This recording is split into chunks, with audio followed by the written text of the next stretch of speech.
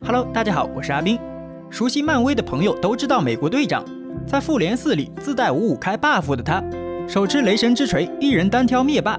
全片最燃的镜头就是他带领复仇者联盟与灭霸军团展开的全线对攻。而现实中也有一位美国队长，他在 NBA 里以凡人之躯比肩神明，把追赶乔丹视为终极目标。而在国际赛场，他率队完成救赎，把曾经丢失的奥运金牌以及尊严一并夺回。他就是美国男篮的救世主科比布莱恩特。二零零八年总决赛上演黄绿大战，面对整体实力更占优的绿军三巨头，湖人以二比四败下阵来，这让心高气傲的黑曼巴说出了那句著名的话：“第二名是最大的输家。”夺冠失败的科比心情自然好不到哪去，戒指数量无法进一步靠近乔丹，并且依旧落后老冤家奥尼尔，但他并没有用休赛期来舒缓压力和疲惫。而是在安东尼的诚邀下前往孟巴队报道，因为那里非常需要他。自1989年美国篮协允许职业运动员参加奥运会之后，美国男篮几乎预定了奥运会金牌。从1992年组建梦之队开始，直到2000年都没有让冠军旁落。但梦六队在2004年兵败雅典，仅仅收获铜牌，这让不可一世的美国男篮顿感危机。而02年世锦赛第六、06年世锦赛第三的成绩。也一同佐证，国际篮球和美国篮球的差距正在快速缩小。为捍卫篮坛霸主地位，2008年北京奥运会，美国队已经输不起了。此前他们还能有借口说没有派出最强战力，但这一次他们主力进出，是要拿回属于失去的荣耀。经过多个赛季锻炼的风尘四侠，新版犹他双煞、龙王、魔兽坐镇内线，基德老而弥坚，加上普林斯的防守和里德的外线火力，梦巴账面实力超然。但这并不是没有翻车的可能，而最好的球员出动，则是给所有人注射了一针强心剂。科比在中国的人气有多高？北京奥运会开幕式就是最好的答案。当摄影师扫过世界各个国家、地区的体育代表团时，观众看到无数体坛大咖；但是当镜头给到科比的时候，整个鸟巢体育场都沸腾了，阵阵欢呼声不绝于耳。导播给到科比的镜头持续时间长达十秒，这是仅次于东道主中国代表团的待遇。嗯，不夺冠真的说不过去了，但是想要拿金牌也并非易事，比赛是要一场场打的。带着复仇火焰的梦巴队比以往都更加谨慎，他们在小组赛展开血虐，到了淘汰赛也是碾压之势。半决赛对上卫冕冠军阿根廷，在科比的率领下，梦巴终于洗刷了此前的耻辱，以一百零一比八十一大胜对手。这场比赛是证明科比领袖能力的一战，也是梦巴队挽尊之战。整场比赛，科比在进攻端仅仅爆发了八分钟，就把阿根廷防线打穿。当吉诺比利受伤下场后，科比也没了出手欲望，转而将全部的精力放在了防守和策应上，帮助队友寻找状态，为接下来的决赛做好准备。而决赛的对手就是科比的湖人队友加索尔领衔的西班牙。在此前的小组赛，孟巴以一百一十九比八十二狂胜这支零六年世锦赛冠军，但后者明显是在装死。总决赛被加内特狠狠压制的加索尔，到了奥运赛场摇身一变成了内线大杀器，因此金牌战也被视为湖人德比。只是赛前没有人会想到此战会如此激烈，其精彩程度足以载入奥运史册。当时西班牙全场都打出精彩配合，球队所有人都分工明确。相比于 NBA，国际赛场上的内线作用尤为凸显。波什、霍华德在加索尔坐镇的西班牙禁区根本讨不到便宜。反而被对方予取予求，炸弹纳瓦罗的抛投甚至比保罗还要神准。健康的鲁迪·费尔南德斯是不折不扣的西班牙飞人，进攻属性拉满。未满十八岁的金童卢比奥在场边蓄势待发。半场结束时，梦巴队依靠韦德的出色发挥，也仅以六十九比六十一领先八分。一边再战，局势依旧焦灼。你有来言，他有去语，场面十分窒息。第四节后半段，美国队依靠科比的不断得分和助攻，这才有了把比分拉开的趋势。但是西班牙不抛弃不放弃，在末节还有三分钟的时候，愣是顽强的把比分追到了只差四分，重燃比赛悬念。别看此时梦巴还是领先的一方，但气势已经渐渐的来到了西班牙这边。就连现场的中立球迷也纷纷为后者加油，期待他们能击碎梦巴的豪言壮语。这也能理解，大部分人都希望看爆冷。喜欢不被看好的一方完成绝地反击，这样的谈资可比提前知道结果的比赛有意思的多。打个不恰当的比方，把孟巴比作三巨头的热火，西班牙比作达拉斯独行侠，好事者都想看詹姆斯笑话。然而实际情况就是，孟巴有着比詹姆斯更好的主角科比。关键时刻，韦德突破到罚球线附近，面对补防，跳起将球分给右侧跟进的科比。科比毫不迟疑，迎着鲁迪·费尔南德斯的防守，果断投出一记三分球。皮球在裁判的哨声中落入网袋，打四分。费尔南德斯领到第五次犯规，被罚出场。但见科比不动声色，将左手食指轻轻竖在嘴唇上，意为让那些支持西班牙的观众噤声，面容冷峻，霸气尽显。嘘，关键时刻只属于我。科比·布莱恩特，黑曼巴的致命一击让西班牙的全部努力付之东流。终于，美国男篮完成救赎，夺得北京奥运会的金牌。后来，梦八队的主帅老 K 在接受采访时谈到了科比。2008年决赛对阵西班牙，是科比挺身而出拯救了美国队，他简直就是毒蛇。这一天恰巧是科比三十岁的生日，全场观众为他高唱生日歌，他向观众致敬，眼中已泪花闪烁。没有什么比金牌更好的礼物了。有道是三十而立，经过北京奥运会洗礼的科比，在接下来两个赛季迎来个人荣誉巅峰，带队完成两连冠，收获两个 FMVP，这些都伴随着零八年那个夏天一起收录在每个科比球迷的心中。时隔多年，再次咀嚼依旧甜蜜。诚然，梦巴队的得分王不是科比，而是韦德，后者也是决赛里得分最多的球员。再看一下科比，场均十五分、二点八篮板、二点一助攻，得分只位列队内第三。然而数据并不能完全反映科比在场上的作用，他带给梦巴队的精气神才是最宝贵的财富。来听听韦德的采访吧。我与科比一起打球时最喜欢的记忆是，那时我从板凳席上场，科比来找到我，他说：“嘿，伙计，你只管进攻，我来扮演防守者的角色，我来侵扰他们。”科比在意的就是防守。韦德表示，和一个在进攻端拥有那么多丰富手段的人一起打球，他本可以要求我们每次进攻都把球交到他手里，而他那时在意的却是防守，还是在奥运会上，兄弟，这太夸张了。当队内的头牌都放下身段做着脏活累活，还有谁敢有所懈怠？在小组赛，科比飞身去拼抢地板球的这个细节就能看出他是有多想赢。一个回合的球权交替改变不了结果。毕竟孟巴的实力远远超出一截，但是可以改变队内所有人对比赛的态度，而这样的态度往往会在最关键的时候发挥作用。此前几年的美国队账面实力其实不弱，全世界也没有任何一支队伍比他们拥有更多的 NBA 球员，但结果就是输了，而且输得很难堪。对国际规则的不适应是其中原因之一，而更大的原因是大部分球员都不肯放下身段。个个好大喜功，只想在进攻端表演，而不扎根于最基本的防守。这就是为什么复仇者联盟一定需要美国队长。傲娇的雷神会因为接受不了失败而自暴自弃，堕落成一个血液里流淌着奶酪酱的肥宅。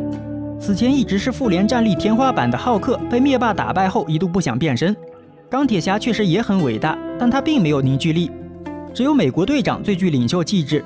他的超能力不是最强的，但意志属性满格。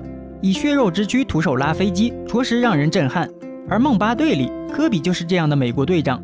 论天赋，他不是最高的，但绝对是最有战斗意志的。自从1992年巴塞罗那奥运会允许 NBA 球员参加之后，每一届美国男篮都汇集了不少大牌球星，他们无一不在联盟里呼风唤雨。而到了奥运赛场，进攻表现最好的，你知道是谁吗？不是被对手要签名的乔丹，不是无差别单打的杜兰特。也不是我们之前提到的美国队长科比，而是卡梅隆·安东尼。甜瓜大部分时间都是替补身份，但只要他一上场，梦之队的得分就咔咔往上涨，因此他也被球迷们称为“奥运瓜”。而在他出战的多届奥运会中，表现最亮眼的当属一二年的伦敦，他以一己之力打爆对手，刷新一系列奥运纪录。今天这部影片，阿斌就带大家重温安东尼在梦十队的超神表现。时间回到二零一二年四月十一日，此时正值二零一一至一二赛季常规赛收官阶段。当晚尼克主场迎战公牛，安东尼打出生涯代表作。就在第四节还剩十一秒时，安东尼的一记三分球带领尼克追平公牛，进入加时赛。加时赛最后八秒，又是安东尼一记三分球射进网兜，帮助尼克最终以一百比九十九击败公牛，保住了东部季后赛的席位。那个赛季，尼克的遭遇和今年的篮网颇为相似。开赛前都是三巨头配置，剑指总冠军；赛季中也都有核心成员长期缺阵，由队内角色球员扛过一段时间大旗。最终在当家球星的发力下才挤进了季后赛，并且都排名东部第七。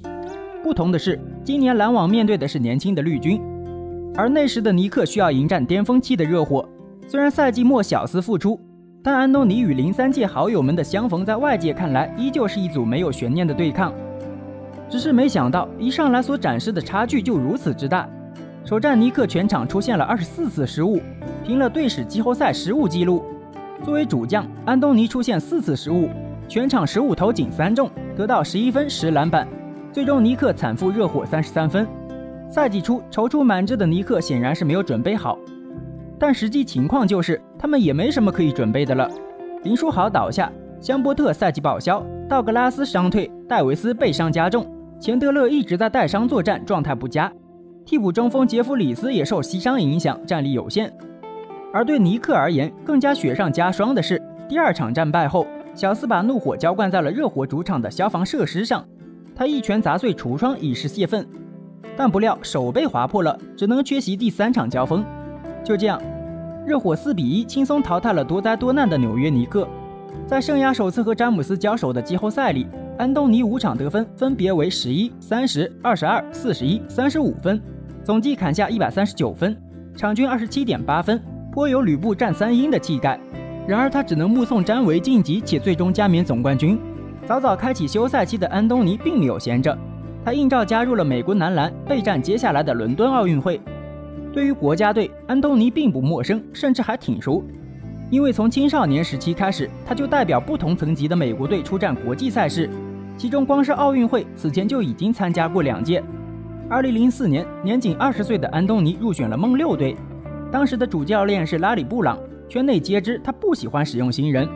比安东尼顺位更高的榜眼米利西奇就在活塞坐冷板凳，因此甜瓜未能在首次奥运之旅中得到足够的表现机会。他在场均六分钟的出场时间里，得到二点零四分、一点六篮板以及一块轻飘飘的铜牌。之后是二零零八年北京奥运会，这时的安东尼已经可以担任更多的戏份。他场均出战十九分钟，拿下十一点零五分、四点二篮板，在星光熠熠的梦八队里得分位列第四，最终如愿收获奥运金牌。美国男篮也重返世界之巅。二零一二年伦敦奥运会，梦十队志在卫冕，尚在巅峰的科比再度出山。詹姆斯、雷霆三少打完总决赛也没歇着，德隆、保罗又一次余量携手，伊戈达拉、乐福、泰森、钱德勒的加入，提升攻防弹性。菜鸟状元戴维斯也随队出征，拓展眼界。二十八岁的安东尼在阵中已属于老资格。尽管甜瓜在 NBA 荣誉不算多，但进攻手段非常丰富，在球场上能将百炼钢化作绕指柔。他所需要的是一个充分证明自己实力的机会。很快，这个机会来了，那就是和尼日利亚的小组赛。虽然尼日利亚是小组中实力最弱的，但阵中好歹也有 NBA 球员法鲁克·阿米奴，以及当时效力于 CBA 新疆飞虎队的强力外援艾克迪奥古。所有人都知道梦十队会赢，只是不知道居然会赢得这么血腥。而酿成这一惨案的罪魁祸首就是安东尼。梦十队在第一节就早早确立了领先优势，随后便进行了人员轮换，想着全队雨露均沾。只是接下来所有的雨露都集中在了安东尼身上。替补出场的甜瓜上来就在底角命中三分，第一节最后一分钟又连中三个三分，单节砍下十二分，率队进一步扩大比分。第二节开打，安东尼延续着进攻火力，先是在内线轻松完成扣篮，随后自己单挑上篮得手，并在最后投进一个三分来结束第二节。半场战罢，安东尼仅仅上场七分钟便砍下十九分。期间投进了五个三分球，这还没完，暂时先不告诉你两队的分差，因为后面会更加震撼。第三节，安东尼依旧无可阻挡，他在内线强打二加一，然后把火力再次转移到了外线，频频远程发炮，又接连飙进五个三分，接球投、顶着投、运球投、急停跳投，怎么投怎么有，对手就是防不住他。在这一节七分钟的上场时间里，甜瓜疯狂砍下十八分，直接将两队比分拉到了五十分。此外，他还上演了安东尼连线。新秀状元安东尼戴维斯刚一登场就接到甜瓜安东尼的传球，空中接力扣篮得分。就这样，甜瓜以一己之力把奥运正赛打成了表演赛。见战局已崩，他也随即打卡下班，毕竟对方也是要面子的。但安东尼火热的手感已经传到了队友的手里。加上一开始迪奥古的挑战，梦十队并没有见好就收，而是持续施虐。这也不能怪他们太残忍，毕竟总不能故意投歪吧。最终，梦十队以一百五十六比七十三狂胜尼日利亚，全场得到一百五十六分，打破了一九八八年巴西创下的单场一百三十八分的奥运会得分纪录。而本场分差八十三分，也是新的奥运纪录。再看安东尼，整场比赛他只打了十四分二十九秒，便三分球十二投十中，创下了梦之队个人三分球纪录。而他全场得到的三十七分，也是美国奥运史上个人最高分。奥运甜瓜当真恐怖如斯。当然，你可能觉得痛扁非洲球队没什么技术含量，但有句话叫做“没有对比就没有伤害”。九年后的二零二一年，美国男篮备战东京奥运会，他们在热身赛第一场就以八十七比九十输给了尼日利亚。虽然分差只有三分，但已经相当耻辱。同样被视为球场大杀器的杜兰特，在这场比赛里只得到十七分。要不是第四节连得十分，阿杜当晚会更加尴尬。尼日利亚此番报仇雪恨，不仅自己扬眉吐气了一把，也让其他球队看到了战胜梦之队的希望。虽然美国男篮最终还是夺得了东京奥运会的金牌，但过程绝不轻松，至少在决赛之前就遭到了比以往更大的阻击。有一说一，美国男篮去年遭遇这样的情况，并不是杜兰特的责任，主要原因还是 NBA 的改革，这让联盟在规则上和 FIBA 有了更大的区别，尤其是对抗上强度完全无法匹配。近年来的美国男篮球员都习惯了联赛里体毛吹罚，但在 FIBA 的规则下，这些都行不通。这也是众多球迷呼吁安东尼第五次出征奥运会的原因。甜瓜在国际赛场上不仅跳投精准，而且不惧内线对抗。毕竟在 NBA 不受裁判待见的他，哪怕被打死也捞不到罚球。只是安东尼在收获三金一铜，成为美国男篮奥运第一人后，便在国家队高挂战靴。虽然奥运瓜从此绝迹江湖。但江湖始终保留着他的传说。对于每一个运动员来说，四年一届的奥林匹克夏季运动会都是他们值得用整个职业生涯去追求的目标。只要是得到参赛资格，就已经证明自己是一名世界级的运动员了。而那一块奥运金牌更是光荣一辈子的荣誉。但是有的时候，有些运动员得到金牌的野心过于强烈，各种荒诞离奇的作弊方式，什么男扮女装、打车赛跑之类的，让人叹为观止。八仙过海，各显神通。将奥林匹克的精神丢到脑后而不顾。今天这部影片，阿斌就为大家带来奥运历史七大作弊丑闻。第一位，搭车长跑开天辟地。奥林匹克原指古希腊时期在奥林匹亚举行的对天神宙斯的祭祖活动，因在祭祖活动中有体育比赛这个环节，又被称之为奥林匹亚竞技。他们向世界宣扬公平与公正的体育精神。奥运精神出生于古希腊，但是没曾想。第一个在奥运史上作弊的运动员同样来自于希腊，希腊马拉松运动员维勒克斯，在1896年第一届现代奥林匹克运动会上替国出征，参加马拉松项目，并且最终取得了第三名的好成绩。但是很快，排在第四名的匈奴利亚选手带着另外三名选手联名举报了维勒克斯，原来是他在比赛过程中并没有亲自跑完全程，而是提前把马车停在比赛必经的公园里，当自己跑累了的时候，就坐上马车保存体力，吃着美食，兜着风。等快到终点时，再装作满头大汗的样子冲过终点线。大人，时代变了，谁还跑步啊？维勒克斯也承认了自己的作弊行为，他的比赛成绩也被取消。而那个举报者匈奴利亚选手得到了本该属于自己的铜牌。第二位，继承先辈，故技重施。你也许不会想到，搭车跑马拉松这件事情居然发生过不止一次。在第三届圣路易斯奥运会上，来自美国的弗莱德·洛兹再次上演了同样的戏码。他本身并不是一名专业运动员。事实上，在那个年代，专业的马拉松运动员极少，即使是奥运会这样的大型比赛上，也以业余运动员为主，甚至从来没有跑过马拉松。弗莱德·洛兹平日里是个瓦工，晚上参加长跑训练，并且参加了业余运动联盟赞助的五英里比赛，也就是八公里长跑比赛，从而赢下了参加奥运会资格。八公里和马拉松本身就不是一个概念，让一个瓦工讲究奥运精神，似乎也有些天方夜谭。弗雷德·伍兹在第十四公里的位置抽筋了，于是搭上一辆随行工作人员的车，甚至还在车里向场边的观众以及其他参赛选手挥手致意。弗雷德·伍兹就这么愉快地乘车走了十七点七千米，感觉腿脚恢复了，又直接从三十一点七千米处接着跑。而目睹这个过程的工作人员命令他离开赛道，但是洛兹头也不回地继续奔跑，最终在人们的欢呼和吼叫中，第一个冲过了终点线。当时罗斯副总统二十岁的女儿正在给他戴花环。同时准备颁给他金牌。这个时候，那名目睹作弊过程的工作人员拍马赶到，揭发了他。瞬间，在场人们的欢呼声转成了嘘声。弗雷德伍兹当场笑了，他声称自己从没打算接受这一荣誉，只是开个玩笑而已。其实这一届奥运会马拉松还挺搞笑的，什么吃老鼠药激发自己潜能，跑到一半去路边吃美食，各种诡异的故事比印度搞笑电影还要离谱。如果大家想看的话，阿斌也可以专门做一期影片。第三位，百米赛道争先跑。安能辨我是雄雌？一九三六年柏林奥运会女子百米比赛，波兰选手斯坦尼斯洛娃·瓦拉谢维奇作为一九三二年洛杉矶奥运会女子一百米冠军得主，她既是卫冕冠军，又是世界纪录的保持者，但她却在这场比赛里被美国人海伦·斯蒂芬击败，丢掉了金牌，自己的记录也被捅破。输不起的瓦洛斯立马脑洞大开，向裁判团举报海伦·斯蒂芬是男扮女装参加比赛的。这位美国姑娘为了还自己一个金牌，只能脱得光溜溜的站在裁判团面前。经过几番严谨的核对和检查，他们确定海伦·斯蒂芬为女性，金牌和新的奥运会纪录有效。正当所有人感叹波兰选手的思维实在有些跳跃的时候，令人意想不到的反转来了。四十四年后，移居美国的瓦洛斯维奇在一九八零年意外遭枪击身亡。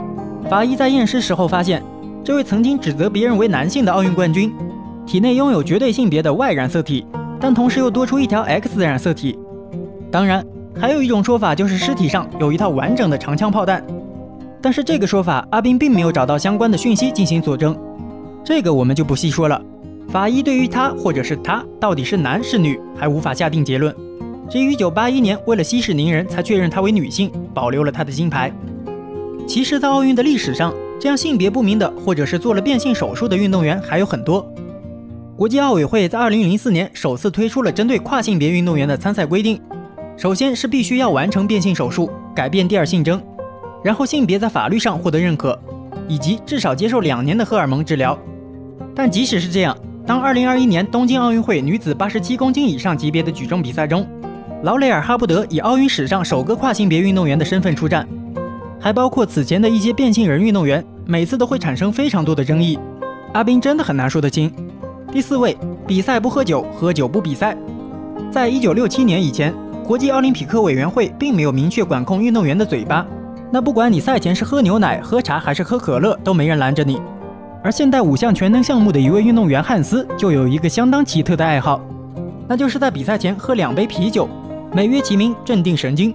说实话，汉斯这个名字听上去就像是个酒鬼。酒精给他带来的力量，帮助他在一九六八年的奥运会中摘得铜牌。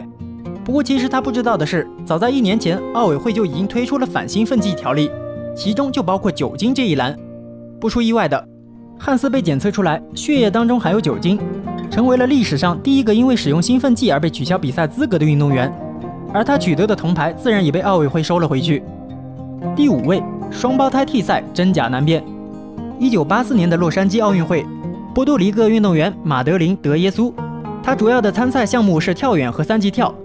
但是他在本届奥运会上还报名了四乘四百米的接力赛，但是在他的个人项目跳远比赛中，马德琳·德耶苏不幸受伤。为了能够保住自己接力赛的成绩，于是他灵机一动，智商占领了高地，让自己的双胞胎妹妹玛格丽特替他去参加预赛。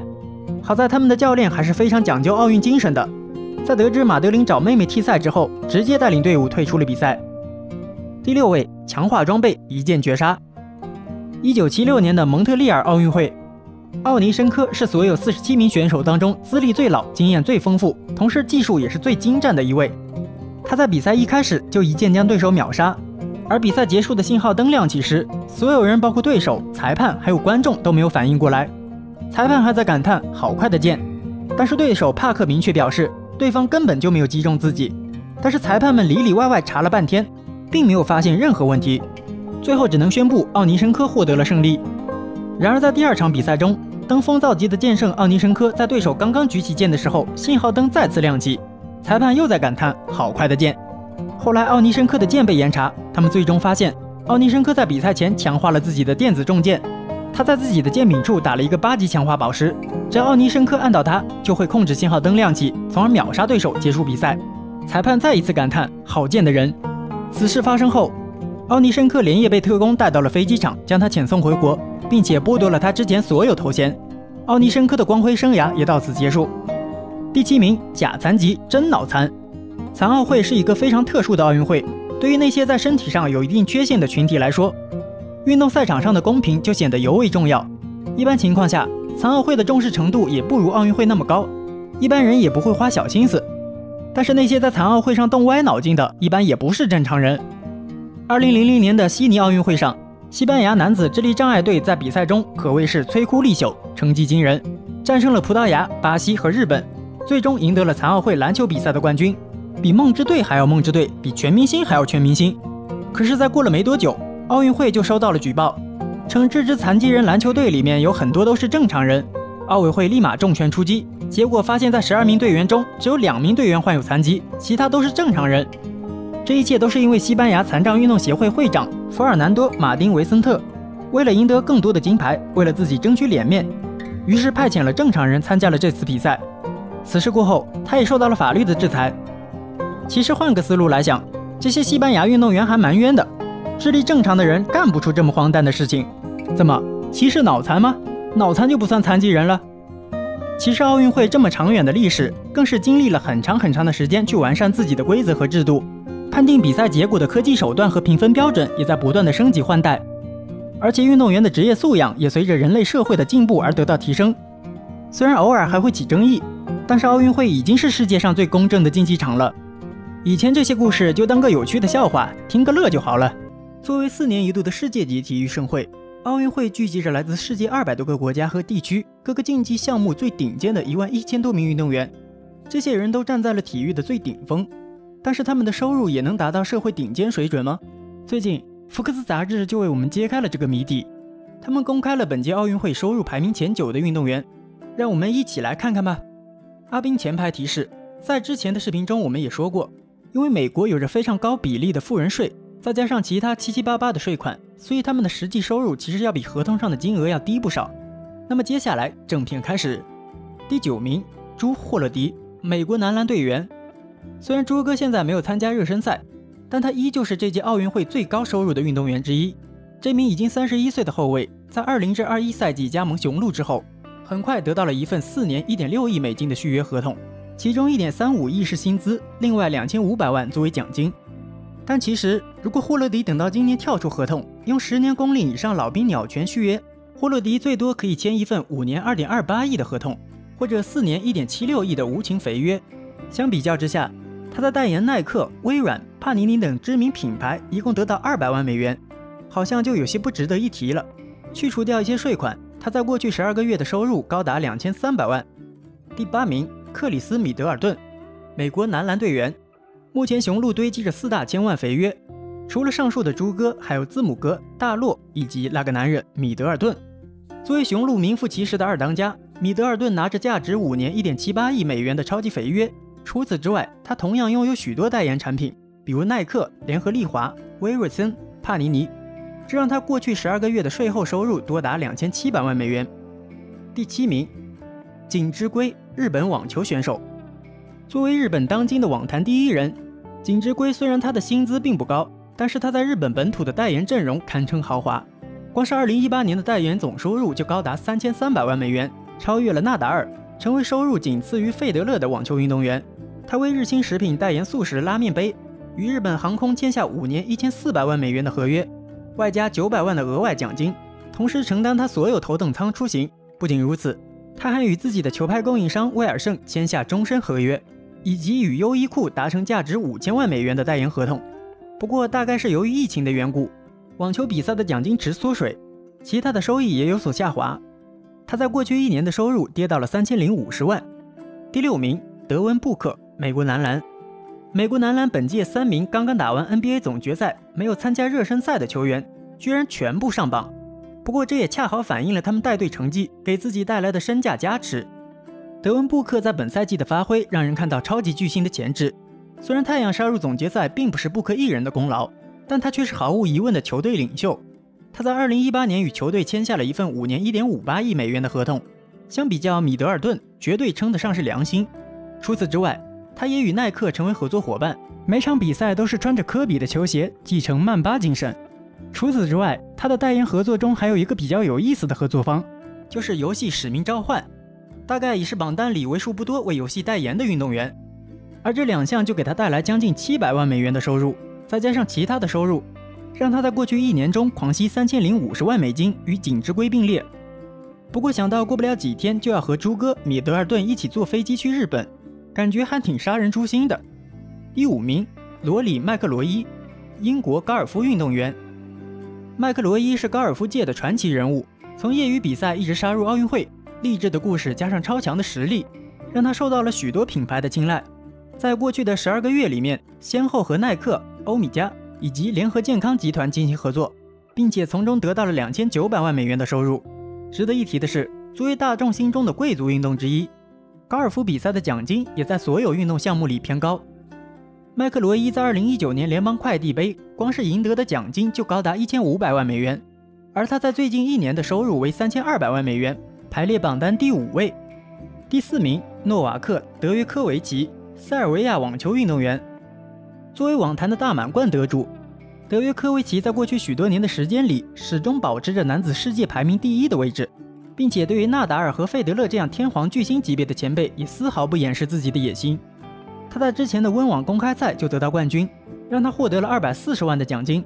而作为当今网坛最耀眼的明星之一。他的代言费自然也不是其他人能够比拟的。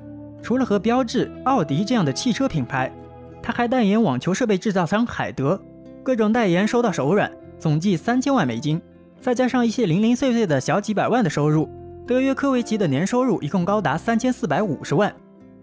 第三名，达米恩·利拉德，美国男篮队员，终于来了一个今年打过国际比赛的 NBA 球员了。表哥利拉德在二零至二一赛季的薪水高达三千一百六十二万美元，但其实他还没等到自己最富裕的时候。二零一九年的夏天，拓荒者为了留住自己的当家球星，以四年一点九二亿美元续约了表哥。二亿美金哎，阿宾可能这辈子见都不一定能见到这么多钱，但是利拉德一年的时间就赚到了。他在两年后的年薪就会高达五千万美元以上，实在是夸张到极叫。除此之外，利拉德也逐渐成为阿迪达斯阵营中最具实力的签名鞋球星。在2014年的时候，他就和阿迪签下了一份十年、价值一亿美元的代言合同，还发表了三张说唱专辑，并且取得了加德勒、2K 体育以及 Hulu 等多个品牌的代言合同。唱跳 rap 篮球样样精通的表哥，在过去一年的收入已经突破了四千万美元的大关。第二名，大阪直美，日本网球选手。没想到这个榜单居然还会有女选手。因为在这个世界上绝大部分的赛事中，男子联赛的商业程度和受关注程度都要超过女子联赛，所以大阪直美能够上榜，而且高居第二，实在挺让人意外的。难道在日本打网球真的很赚钱吗？第七名也是日本的网球一哥，这边第二名又来了一个日本的网球一姐，这不是一边打网球一边在印钞票吗？不过大阪直美的实力确实没得说，曾经拿下过美网、澳网等多个大满贯冠军。成为亚洲第二位能够拿到大满贯的女选手，而且最令人称道的是，她对自己商业价值的挖掘几乎达到了极致。尤其是当她退赛辛辛那提公开赛，并且在纽约参加游行之后，谷歌、LV、李维斯等二十多个赞助商都找到了大阪直美。她在短短十二个月里的收入达到了女子体育历史上创纪录的五千五百二十万美元，其中只有五百二十万美元的零头，剩下的几乎都是代言的费用。而他的代言费。在全球所有运动员里，只仅次于罗杰·费德勒、勒布朗·詹姆斯和泰格·伍兹。再加上其他方面的一些收入，大阪直美在过去一年空降运动员的富豪榜，年收入高达六千万。第一名，凯文·杜兰特，美国男篮球员。作为 NBA 在本届奥运会的门面球员，杜兰特得到了前辈们都没有享受过的待遇。他将在奥运会的开幕式上，作为美国整支国家队的旗手，向全世界展示他独特的魅力。本赛季他在篮网的薪水高达三千九百零五万美元，但是作为 NBA 最顶级的超级巨星，钞票这种事情对于他来说简直就和数字差不多，一举一动都能带来经济效益。他们与 NBA 俱乐部之间的合同只是他们庞大收入的冰山一角。就拿耐克来说，他们在杜兰特进入 NBA 之前就以仅次于詹姆斯的六千万美元的合同将其拿下，随后又紧接着签下了一笔十年三亿美元的长约。传言他每年都能得到五千万美元的分红，其次便是代言广汽传祺的一百四十万美元，还有加德勒、Beats 以及 NBA 二 K 开发商。保守估计，这些合同总价值估计超过了一亿美金。另外，杜兰特还持有美国职业足球队费城联合的股份，还打造了一个多媒体品牌。杜兰特还拥有自己的风投公司三十五创投，以及近十家全美风投公司的股份。投资的领域还涉及科技、地产、专卖店、酒店和餐饮等，能在未来让杜兰特有将近四亿美元的收入。不过这些都是比较长远的目标了。具体当刚刚过去的一年，杜兰特的收入就已经高达七千五百万美元。但是对于三十二岁的杜兰特来说，他的商业布局才刚刚开始。至少支付他在推特上与网友亲切交流的网费，绝对是绰绰有余的。其实，在榜单中，其他的运动员大多是网球、高尔夫这样的单人项目。能够像 NBA 球员这样，身为团队运动中的一员，还能拿着高于单人项目的收入，并且在前九的榜单中占据半壁江山，其实还挺神的。希望他们都能够在接下来的奥运项目中取得不错的成绩吧。当 NBA 球员在1992年巴塞罗那奥运会第一次登陆国际赛场上的那一刻，苏联老帅戈麦尔斯基就说：“世界豪强想要和 NBA 球员组成的美国队对抗，至少需要五十年。”也许老帅不曾想到过。仅仅不到三十年，美国队居然会像今天一样如此脆弱。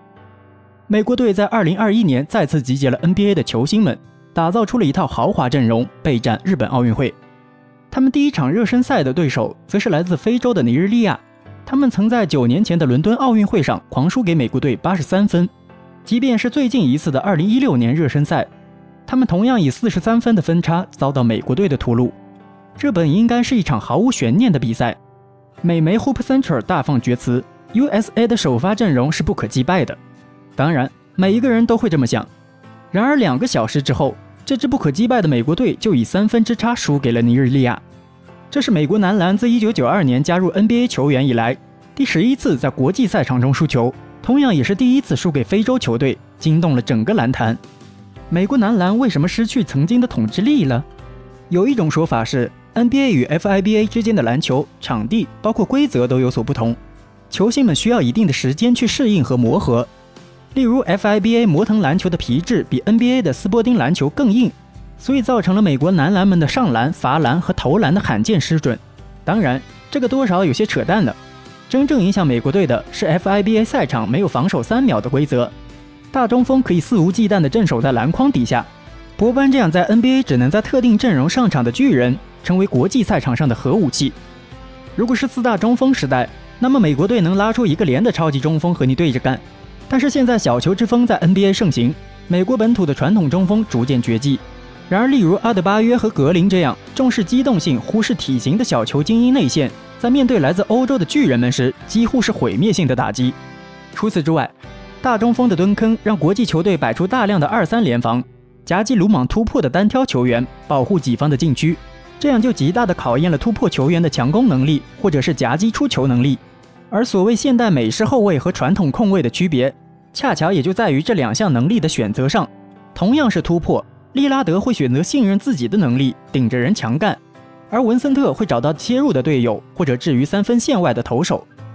美国队主教练波波维奇就在赛后表示：“现在其他国家队都在持续进步，但 NBA 里面的单挑技巧在国际赛场上并不管用。当然。”说到投手，FIBA 和 NBA 还有一个非常重要的区别，那就是三分线的范围。NBA 在距离篮筐最远的弧顶三分线，比 FIBA 要远了半米之多。也就是说，一些缺乏天赋的射手们，能够在 NBA 之外的赛场上成为一名杀伤力极大的外线威胁。这支尼日利亚的队员放在 NBA 绝对算不上三分够看的球员，但是他们全队依然投出了三分四十二中二十的命中率。其中，文森特在 NBA 的每三十六分钟就要投八点二个三分球，但是命中率仅仅只有百分之三十点九，看得人头皮发麻。但是到了国际赛场，他在美国队脸上连射八记三分球，命中六记，拿下全场最高的二十一分，准得吓人。同样的，如果尼日利亚能够投死美国，那么这个世界上很多的国家似乎也有能力做到这般屠神的壮举。联防的重要性压制住了美国球员赖以天赋的单打技术。三分线的缩短拉近了巨星们和角色球员之间的进攻差距。此消彼长之下，美国队员在 NBA 历练出来的一身本领，似乎在国际赛程上失去了优势。当然，规则的限制固然有所让美国球员有些束手束脚，但是他们与其他国际球队之间的差距不断缩小，也是他们这几年逐渐衰退的原因。尼日利亚的球队中拥有许多 NBA 球员，其中三名球员来自迈阿密热火的板凳席，堪称是热火三队。实际上，在尼日利亚男篮的十六人大名单中，算上缺席的雄鹿队员诺瓦尔，一共有八名球员正在效力 NBA，其中一大部分是尼美双重国籍。但最重要的是，只有一名球员没有征战 NCAA 的经历。而除开了这些人，尼日利亚还规划来了全明星后卫丁威迪，稳坐轮换的阿米奴和蒙特莫里斯。以及已经效力美国男篮，但是拥有纯正尼日利亚血统的首发中锋阿德巴约。这支非洲军团将自己最杰出的篮球天才一股脑地送到了美国，所以有着非常浓厚和正统的美国篮球的影子。虽然这一场热身赛的胜利并不能证明尼日利亚在篮球上超越美国，但是他们在美国培养篮球天才的计划已经得到了显著的收益。这样的情况已经不算少数。在 NBA 进入二十一世纪之后，联盟正在一点点地被国际球员所占领。二零零二年，姚明成为了除双国籍之外的第一位 NBA 状元。二零零五年至二零零七年，加拿大的纳什和德国战车包揽了三年的 MVP。而在刚刚过去的三个常规赛季，一个来自希腊的怪物，一个来自塞尔维亚的胖子，同样完成了这一个壮举。再加上 MVP 前五中的非洲大帝恩比德，横扫欧洲的超级天才东契奇。这四个人如果继续包揽未来五至六年里超过一半的 MVP，并不是一件让人意外的事情。而最近四届的最佳防守球员，三个给到了法国的戈贝尔，一个给到了希腊怪兽字母哥。时间再往前一点，一四年的法国诺阿，一三年的西班牙小加，让这个奖项几乎快要变成国际球员的天下。此外，还有来自非洲雄狮喀麦隆的西亚卡姆，澳大利亚的状元西蒙斯，加拿大的状元威金斯。除去这些已经名声在外的国际球星，隶属于各支球队的角色球员、未来之星，大多也来自五湖四海。虽然他们的实力暂时无法与球星相比较，但是对于国家队来说，最重要的是他们并不惧怕对抗美国队。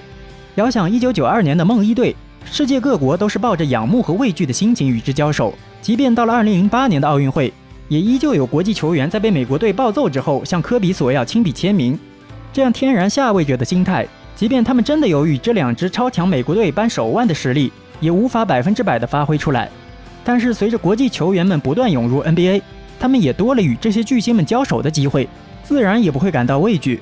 双方在心理上已经到了同一条起跑线上，他们知道如何战胜对手。在美国队有机会扳平比分的最后一球，拉文绕了一大圈，想与格林完成无球挡拆，但是尼日利亚的球员们直接放弃了三分线附近的格林，直接包夹拉文。最终让美国队的最后一次战术执行泡汤，知己知彼方能百战不移。现在的美国队已经不如当初一般神秘而强大。当然，除了对手的实力增长，美国队实力下滑、人员不整也是重要的原因之一。这已经成为美国队近几年老生常谈的问题。单论这一场热身赛来说，因为季后赛的缘故，美国队在比赛之前只集训了整整五天。许多球员甚至是刚刚经历了一整轮系列赛的磨损，又立马投入到了新的比赛备战当中。再加之雄鹿的米德尔顿、朱霍勒迪以及太阳的德文布克，目前还在总决赛上捉对厮杀。现在这支美国队还远没有达到他们的理想状态，但即便如此，他们的完整阵容也没有1992年和2008年那般恐怖。如果勒布朗·詹姆斯、斯蒂芬·库里这样的门面级别的天皇巨星能够加入美国队，那么，无论那些国际球队有多么高质量的 NBA 球员，在规则上有多么大的优势，在真正的实力面前都于事无补。不过，美国队对于自己阵容的管理一直相当松散，因为一开始 NBA 就和美国篮协就不太对眼，直到上世纪八十年代，NBA 和国家队都井水不犯河水。可即便是一九九二年开创了先河，NBA 球星们对于国家队的态度也依然随意，想去就去，想走就走。更极端的情况发生在二零一九年的男篮世界杯，当时的一众大牌球星都卯足了劲，准备第二年的奥运会。当赛季入选三套最佳阵容的十一位美国本土球员，其中十人都拒绝参赛，只剩一个肯巴沃克愿意打，外加上米德尔顿和大洛，在当时一共只有三名全明星球员，还都是边缘水准，而最大牌的居然还是主教练波波维奇。所以这支东拼西凑下来的美国队拿到第七名的历史最差战绩，好像也并不例外。这一点关乎球员们对于自我利益的重视程度不断提高。现在的巨星们会逼宫球队交易自己去更好的球队，施压管理层给自己开出更高的薪水，为了在合同年保护自己的健康，拒绝去国家队报道等等。当然，这没什么不对，只是如果放到为国出征这种层面的比赛，阿斌个人觉得会有一点点的自私吧。毕竟老一辈的球星们从来没有这般斤斤计较，每一次都不留余力。美国队一家独大的局面被打破，但是他们依然是毫无争议的世界第一。但是对于在世界篮坛长期处于弱势地位的亚洲国家们来说，尼日利亚成长和胜利的经验，也许能给我们极大的启发。将自己的青年才俊送到美国的训练体系下进行磨砺，取长补短，寻求整体实力的进步。最重要的是，正是这个强大的对手，不害怕也不手软，打出自己的篮球。或许在不久的将来，亚洲也会出现一支能够击败美国队的队伍。美国男篮在男篮世界杯上未能获得前三名的成绩，对于被誉为“梦之队”的传统来说，无疑是一种巨大的耻辱和挑战。这次失利让他们感到羞愧和挫败，激起了他们强烈的复仇之心。因此，他们渴望在2024年的巴黎奥运会上证明自己，重新夺回篮球世界的统治地位。美国男篮总经理格兰特·希尔也在今天公布了2024年巴黎奥运会41人候选名单，让全球篮球迷为之振奋。这份名单汇聚了当今 NBA 联盟的最顶尖球员，无论。是现役的超级巨星，上个时代的一线顶流，还是当红的中生代和冉冉升起的未来之星，无一不是篮球界的璀璨明星。他们的加入使得美国男篮阵容更加强大，也为即将到来的奥运会增添了无限看点。这份名单将成为最终决定进入正式阵容的十二人的基础。让我们一起来看看这份名单上都有哪些球员，一起见证他们在奥运会上的复仇之路。联盟三大门面是谁？想必不用说，大家也清楚，詹姆斯、杜兰特和库里，他们在 NBA 历史上留下了不可磨灭的印记。尽管如今他们都已经超过了三十五岁的年龄，但仍然保持着出色的竞技状态，令人难以置信地展现出了超越年龄的篮球水平。勒布朗·詹姆斯作为 NBA 历史上最为全能的球员之一，他拥有出色的篮球智慧和领袖气质。本赛季他场均可以贡献二十四点八分、七点二篮板、七点四助攻和一点三抢断，仍然是洛杉矶湖人队不可或缺的核心球员之一。无论是得分、篮板、助攻，还是防守端的贡献，詹姆斯都展现出了他的全面实力。凯文·杜兰特作为一名得分手，他的技术和球商堪称一流。本赛季他场均能够轻松得到二十九点六分、六点三篮板、五点六助攻、零点九抢断和一点二封盖，展现了他在篮球场上的统治力。尽管曾经遭遇过严重的伤病困扰，但杜兰特依然保持着顶级球员的水准，为布鲁克林篮网队带来了不可或缺的进攻火力。斯蒂芬·库里作为三分球的先驱者和最出色的投手之一，他的投射能力在 NBA 历史上堪称独一无二。本赛季，他场均能够贡献二十六点七分、四点二篮板和五助攻，成为金州勇士队的得分利器和组织核心。库里以其灵巧的手感和超凡的射手天赋，成为了篮球界的传奇人物之一。尽管他们都已经步入职业生涯的晚期，但詹姆斯·杜兰特和库里依然展现出了顶级球星的水准和竞技状态。他们的表现不仅让人惊叹，也为年轻一代的。球员树立了榜样，展示了何为真正的篮球传奇。在他们的带领下，美国男篮必将在巴黎奥运会上再次闪耀，向世界展示篮球的魅力和力量。以下八位球员的实力无疑也是不可忽视的，他们都是当今 NBA 联盟中的顶级球员，拥有着出色的篮球天赋和表现。如果他们有意加入美国男篮，那么无疑跟上面三位一样，美国队向他们敞开欢迎的大门，成为球队的宝贵资产，为球队的实力提升增添更多的底气。首先，让我们来看看恩比德，作为联盟中最为出色的内线球员之一，恩比德在进攻端具有出色的得分能力和篮板球能力，同时在防守端也是一位杰出。的防守球员，他的身体素质出众，可以在内线轻松取得优势。同时，他的投篮技巧和篮板球能力也是联盟中的佼佼者。恩比德的加入将为美国男篮带来更多的得分和篮板球，同时在防守端也能够起到重要的作用。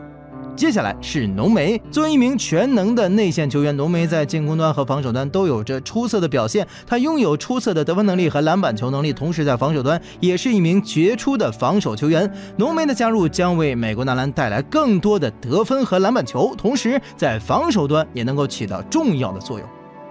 伦纳德虽然在过去两年遭遇了大伤，但在本赛季他依然展现出了出色的状态。他拥有出色的得分能力和篮板球能力，同时在防守端也是一名杰出的防守球员。伦纳德的全面能力和领导力使他成为球队的核心之一，无论是在进攻端还是防守端，他都能够发挥重要作用。塔图姆、巴特勒、布克等球员也是联盟中的顶级球员，他们的加入将为美国男篮带来更多的得分和篮板球，同时不管是在进攻端还是防守端都能够起到重要的作用。哈登和利拉德作为超级巨星，他们在进攻端有着出色的得分和组织能力，同时在防守端也有着不俗的表现。他们的加入将为美国男篮带来更多的得分和组织，同时也能够提升球队在防守端的稳定性和强度。总的来说，这八位球员的加入将为美国男篮带来更多的。的选择和变数，他们的实力和表现不言而喻，将为球队的成功贡献力量，同时也会为球队的团队精神和凝聚力注入更多的活力和动力。相信在这八位球员的领衔下，美国男篮必将在巴黎奥运会上再次展现出强大的实力和竞争力，向世界展示篮球的魅力和力量。如果以上十一位参加奥运会，那么金牌确实是十拿九稳了。但很多球星休赛期都会为了家庭和事业无法出战奥运会。不过他们还有后备力量，全明星级别的球员，他们也不少。首先是保罗·乔治，作为一名全面的球员，乔治在进攻和防守两端都有着出色的表现。他的得分能力、篮板球能力和防守能力都是联盟顶尖水准。尤其是在国际比赛中，乔治的打法更是得心应手。本赛季他场均可以贡献二十三点六分、五点六篮篮板、三点六助攻和一点六抢断，是美国男篮的得分和防守利器之一。接下来是欧文，他在国际比赛中的表现同样令人期待。他的投篮技术和得分能力是联盟中数一数二的。本赛季他场均可以贡献二十五点二分、五点一篮板和五点三助攻，是一名出色的得分后卫。他的加入将为美国男篮的进攻端注入更多的火力。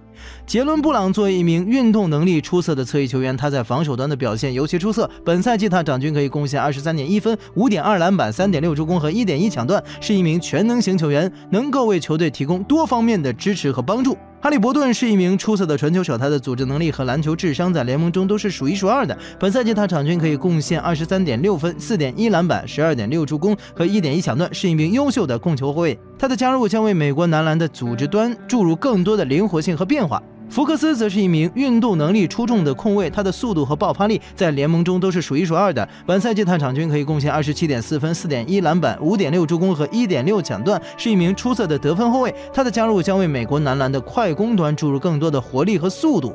爱德华兹之前已经参加过梦之队的比赛，他的实力和表现都是毋庸置疑的。本赛季他场均可以贡献二十五点五分、五点四篮板、五点二助攻和一点二抢断，是一名全能型球员，能够为球队在进攻和防守两端提供多方面的支持。米切尔是一名全能的后卫球员，他在进攻端和防守端都有着出色的表现。本赛季他场均可以贡献二十七点八分、五点四篮板、六点一助攻和二抢断，是一名优秀的得分后卫。他的加入将为美国男篮的进攻端注入更多的火力。阿德巴约则是一名全能的。内线球员，他在进攻端和防守端都有着出色的表现。本赛季他场均可以贡献二十一点五分、十点五篮板、四点三助攻和一点一抢断，是一名出色的内线球员。他的加入将为美国男篮的内线防守端注入更多的力量和稳定性。英格拉姆和贾伦·杰克逊虽然在上次世界杯上的表现并不理想，但他们的实力和潜力依然不可小视。他们都是全能型球员，在进攻和防守两端都有着出色的表现。他们的加入将为美国男篮增添更多的选择和变数，使球队更加全面和强大。除了刚才提到的十位全明星球员，还有一些具有昔日风采和实力的球员，他们同样能够为美国男篮的夺金之路增添更多的支持和助力。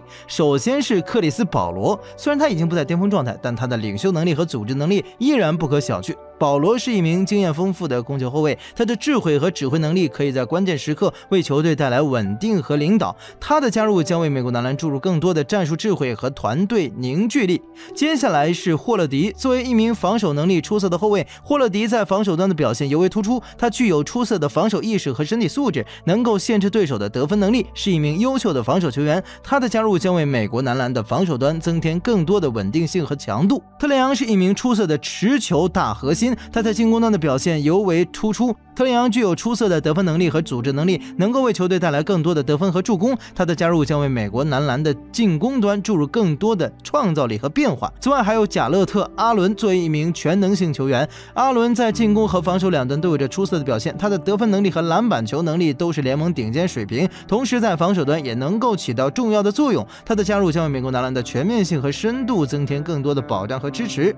格兰特·希尔此次的目标非常明确，就是让所有可能上场的球员都参与进来。除了之前提到的球员之外，还有一些备选球员也都上榜了：布伦森、班切罗、贝恩、巴恩斯、布里奇斯、卡鲁索、阿伦戈登、约什哈特、西罗、霍姆格伦、卡梅隆、约翰逊、凯斯勒、波蒂斯、里弗斯、邓罗和怀特等球员，虽然在全明星赛上可能并不是家喻户晓的名字，但他们在联盟中也都是实力不俗的球员，都有着出色的技术和能力。这些球员的加入将为美国男篮的阵容增添更多的深度和实力，使球队更加全面和强大。无论是在进攻端还是防守端，他们都能够为球队提供可靠的支持和帮助。虽然他们可能并不是球队的核心球员，但他们的加入使美国男篮的整体实力更加雄厚，为球队的成功夺金之路打下更加坚实的基础。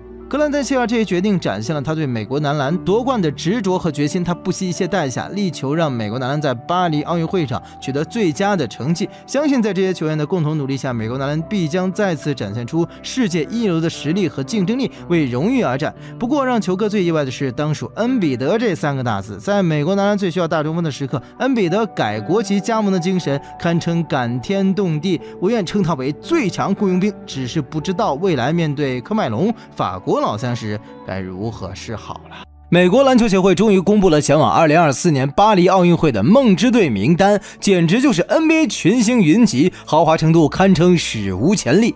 这支阵容可以说是集齐了联盟内所有顶级球星，无论是实力还是人气，都是碾压性的存在。其中，詹姆斯、杜兰特、库里等球员熟知的 NBA 球员全部入选，备受关注的恩比德、伦纳德紧随其后。看看这支梦之队的阵容名单，可以说是星光熠熠，令人目眩神迷。本次入选美国梦之队的队员分别是詹姆斯、库里。杜兰特、恩比德、塔图姆、哈利伯顿、布克、霍勒迪、爱德华兹、浓眉、阿德巴约和伦纳德这些球员无一例外都是联盟内的超级巨星，他们的球技和影响力都是当今 NBA 最顶尖的存在。从阵容配置上，全部为此前表态的球员，也就是在上一届男篮世界杯之后，以詹姆斯为首的球员率先在自媒体表态愿意为国夺回荣誉的球员。只是最后没有追梦和欧文这两人此前前也表态的很早，他们想跟随。詹姆斯和库里一起去征战奥运会，但未能如愿以偿。球员名单：NBA 顶尖巨星尽数到齐。詹姆斯依然是这套阵容的绝对核心，他不仅在战术方面发挥着关键作用，更是在精神层面引领着整支球队。作为三十九岁的老将，詹姆斯本赛季依然能够轻松的取得二十五分加八篮板加七助攻的全面数据。年事已高，但依然无法阻挡詹姆斯强势的表现。他也是第一个表态愿意为国效力的球员，同时也是 NBA 球星发起人之一。此外，由于主教练是科尔，库里与杜兰特入选也在情理之中。杜兰特这位死神在进攻端的爆发力简直无人能及，他的身高、投篮和运球能力都是联盟顶尖水平，堪称是当今最出色的得分手之一。至于库里这位历史最强三分王的投篮技术，更是令人叹为观止。他的投篮准确度和远程轰炸能力都是联盟第一，可以说是改变了篮球这项运动的发展方向。除了实力之外，科尔更相信库里和杜兰特的配合与默契程度，他们在奥运会上可以重现当年勇士夺冠的战术。在后卫线上，霍勒迪不可或缺。虽然实力不及欧文，但他的防守强度确实是最好的一位，也是这十二人大名单中的外线防守担当。浓眉和阿德巴约身边有了恩比德，他们可以安心打四号位。塔图姆和布克是得分型球员，爱德华兹和哈利伯顿是两位年轻小将。未来美国男篮需要他们的领导。伦纳德更是不用说了，他也是 NBA 公认的超级巨星，攻防两端都是全面无死角的强。实际上，这份名单争议最大的就是恩比德。美国男篮近些年一直缺少传统中锋，恩比德放弃了法国男篮的邀请，加入了美国男篮。他是想要获得更多荣誉。对于恩比德而言，对荣誉的追求一直没有停止脚步。无论是之前的得分王，还是之后的常规赛 MVP，恩比德的目标非常清晰，跟随这届美国男篮，他距离奥运会金牌更近了。阵容特点：三分、防守、内线全面覆盖。首先是在三分线上的杀伤力，库里、杜兰特、塔图姆，甚至包括詹姆斯这四位球员都是联盟顶尖的三分射手。他们的远投准确度和爆发力令对手望而生畏。再加上像布克、哈利伯顿这样的年轻球星的加入，梦之队的三分线上简直就是一个杀人狂魔。无论是近距离还是远程，他们都能够随时给对手制造致命的威胁。尤其是防守端的强大实力，伦纳德。霍勒迪、AD 等球员都是联盟顶级的防守悍将，他们不仅身材高大，而且防守意识和技巧都非常出色。再加上像爱德华兹、阿德巴约这样的年轻球员，梦之队的防守简直就是一道铜墙铁壁。想要突破他们的防线，绝非易事。这种防守实力的震慑力，可以大大限制对手的进攻效率，为梦之队赢得比赛提供了坚实的屏障。最后是内线的统治力，虽然梦之队的四号位球员相对来说略显单薄，但是有大帝这样的内线线怪兽加盟，无疑是对内线实力的极大补充。大帝不仅身高体重出众，而且在篮下的得分、篮板和盖帽能力都是联盟顶尖，完全可以与阿德巴约、浓眉哥等内线球星一起筑起这支美国队的禁飞区。可以说，这支梦之队无论是在三分线防守还是内线，都拥有联盟顶级水平的球员。这样的阵容配置简直就是梦幻般的存在，意义重大。詹杜库合体，杜兰特有望创造历史。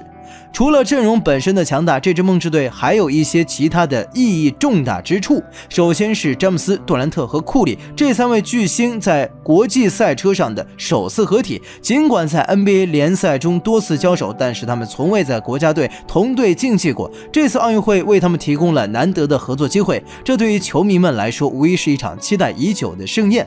对于库里来说，这次奥运会或许是他职业生涯中实现大满贯的最后机会。尽管他已经获得了。篮球运动员梦寐以求的所有荣誉，包括他在2022年夺冠时获得的最有价值球员 FMVP 奖项，但他尚未代表美国队参加过奥运会，因此奥运会金牌成为了他荣誉墙上唯一缺失的一块。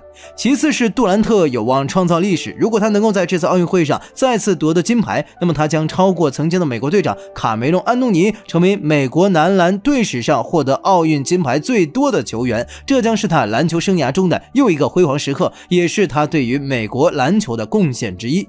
最后是恩比德的加盟，作为一名喀麦隆或者说是法国球员，恩比德最终选择为美国队效力，这无疑是一个令人惊喜的决定。他的加盟不仅填补了梦之队内线的短板，同时也展现了美国篮球的吸引力和影响力，向全世界展示了美国篮球的开放性和包容性。总的来说，这支梦之队不仅拥有着联盟顶级的球员阵容，而且还承载着诸多意义重大的故事情节。他们无疑是奥运会夺冠的热门之选，也是观众们期待的焦点之一。不过，美国男篮在配置上面临着一些挑战和问题。首先是球队的年龄过大，尽管球队拥有众多顶级球星，但年龄都偏大，这可能会在比赛中影响到球队的体能和持久性。其次是防守悍将过少，尽管球队中有一些出色的防守球员。但整体而言，缺乏专门的防守悍将，这可能会在面对强大对手时造成防守上的困难。最后是关于科尔的战术能否支撑有中锋的球员。科尔喜欢运用五小阵容，但国际赛场的特点和规则与 NBA 有所不同，对内线球员的需求可能更加重要。科尔可能会尝试将大个子球员投射到外线，或者让一些球员在不同位置上发挥作用。但这样的战术是否适用于国际赛场，以及对手是否会根据科尔的策略做出？应对还需要在巴黎奥运会上。见分晓。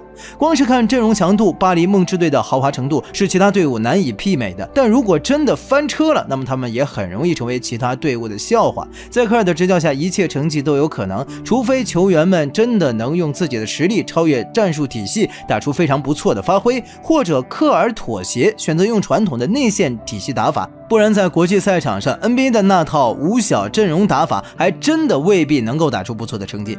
詹姆斯作为本次梦之队的领袖，他的发挥也至关重要。今年的他是最后一次参加奥运会了，如果能够夺冠，为自己的职业生涯末期再添上一笔荣誉，相信老詹的历史地位也会更加稳固。但对他本人来说，荣誉并不重要。之前的梦之队翻车惨败，让美国梦之队添上了耻辱的一笔。而这一次老詹领衔的目的是让更多的人看到美国的梦之队不是不强。而是强悍的人，在上一届都没有参加。